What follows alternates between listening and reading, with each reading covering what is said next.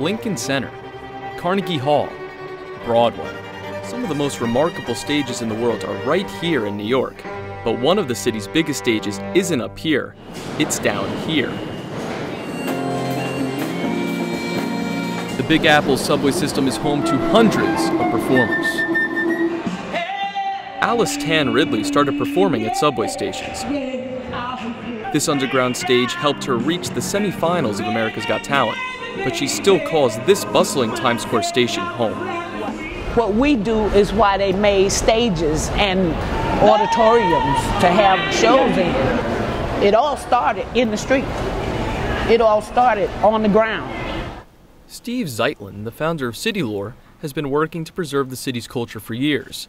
He says artists had to push for their rights to perform underground. It was hard fought to get the legal rights for street performers. A series of street performers that, that challenged that, the system and say, saying that it was performing was a First Amendment right and performing on the subway was a First Amendment right.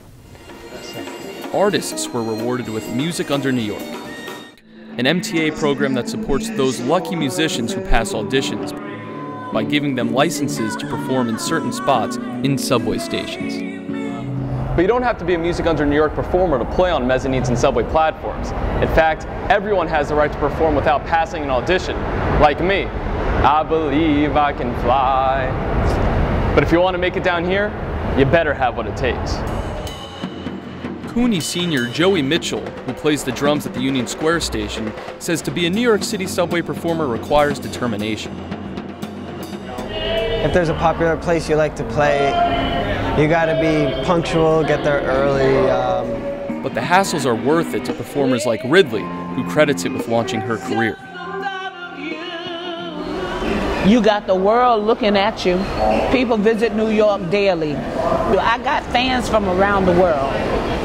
Zeitlin, whose group promotes the work of subway artists, considers these performers part of what makes New York magical.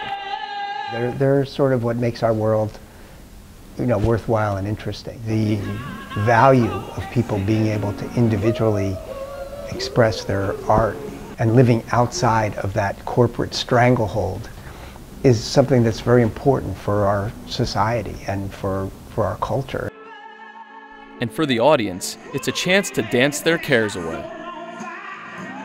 And what, what I really love about it is that somebody who's been working all day probably hating their job or loving their jobs but really overworked come through here to catch their train and all of a sudden they slow down. They take a little time to do something for themselves because when you sing a song even though it might make you teary-eyed it still changes your world right then. So it doesn't matter if you're a full-fledged musician or can't carry a tune. New York City subway might help you find your harmony. For NYU Tonight, I'm Michael Thompson.